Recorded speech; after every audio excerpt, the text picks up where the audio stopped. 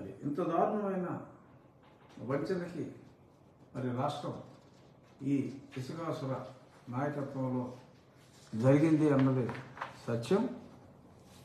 సరే చాలా కేసులు పెట్టాలని చెప్పి ఈ కేసు వేసిన వాళ్ళు మరి కూడా చూశారు.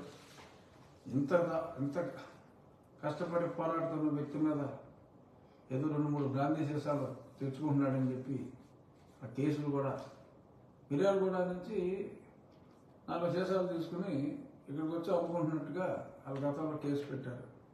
మరి ఈ కోర్టు కేసు వేసి ఈ సత్యం కోసం ఈ సత్యాన్వేషణకి మరి ఎన్నో లక్షలు అవుతుంది. ఆరాధన సీసాలు అమ్ముకుంటే బాబు.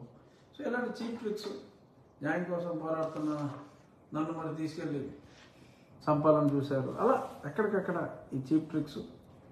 సో ఇది ఇసుకాసుర లీల.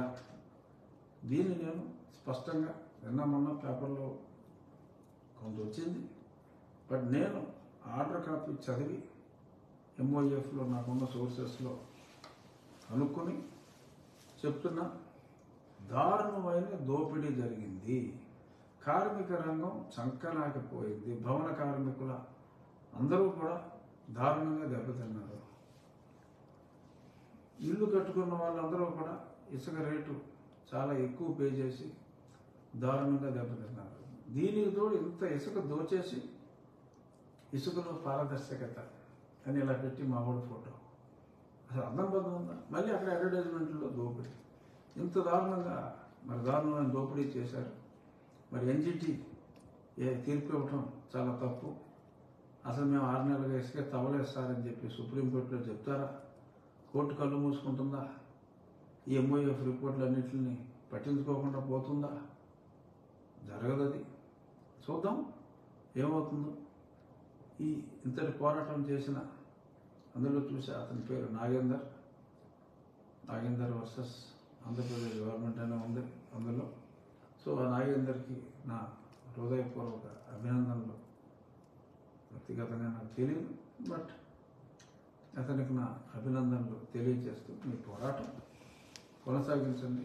ఎటువంటి భయాలు లేకుండా ఇంకా ఎక్కువ రోజులు ఉండదు ఈ ప్రభుత్వం అని చెప్పి తెలియజేస్తూ ఈరోజు ఇంకొక మేజర్ ఇష్యూ.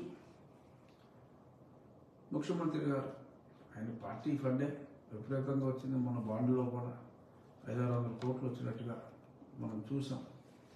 మరి ఎంత సొమ్మెట్టేసుకుని రూపాయి జీతం తీసుకుంటూ ఆయన ఖజానాకి ఎంత బొక్కెట్టేస్తున్నా అంటే అంటే హోల్ ఎంత హోల్ చేస్తున్నా అంటే మరి లెక్కలేదు ఇప్పుడు మరి ఒక పోలీస్ అయినా ముఖ్యమంత్రి గారు చాలా థ్రెట్ ఉందండి.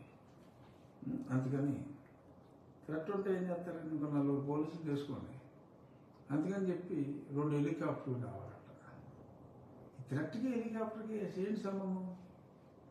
ఆల్రెడీ ఒక హెలికాప్టర్ ఉంది గవర్నమెంట్ రిపేర్ వస్తే రిపేర్ చేయించుకోవచ్చు. అసలు ఈ థ్రెట్కి హెలికాప్టర్కి సంబంధం ఏంటనేది నాకు అర్థం కాదు.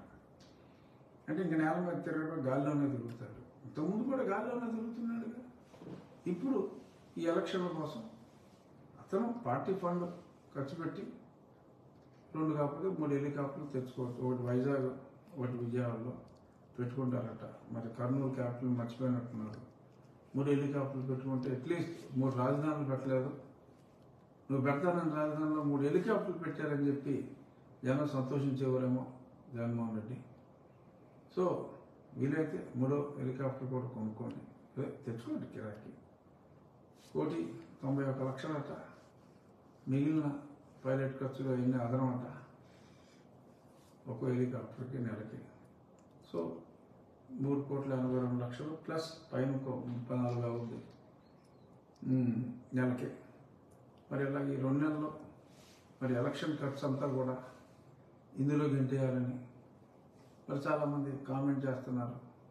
విమానంలో అదే ఈ చాపర్లో డబ్బులు కూడా క్యారీ చేసుకునేలాగా. అంటే ముఖ్యమంత్రి కాకుండా ముఖ్యమంత్రి అనుచరులు కూడా ఈయన ఉన్న లేకుండా కూడా హెలికాప్టర్లో తిరిగే విధంగా దానికి పర్మిషన్ తీసుకున్నారు. అర్థమైపోతుందిగా మనకి? ఎందుకు? ఆయనే ముఖ్యమంత్రి పార్టీ అధ్యక్షుడు హోదాలో అద్దెకి తీసుకోవచ్చు. చెప్పేవి శ్రీరంగ నీతులు. ఒక్క రూపాయి జీతం తీసుకుని పని చేస్తున్నానంట ఇంటికి రిపేర్కి గోడ కట్టుకుంటానికి వాటికి. ఎన్ని యాభై అరవై కోట్లు అయిందని మనం గతంలో చూసాం. ఈ రూపాయి జీతగాడికి భయం ఇంట్లో కూర్చోవాలి ఎవరు జరగమని నిన్ను?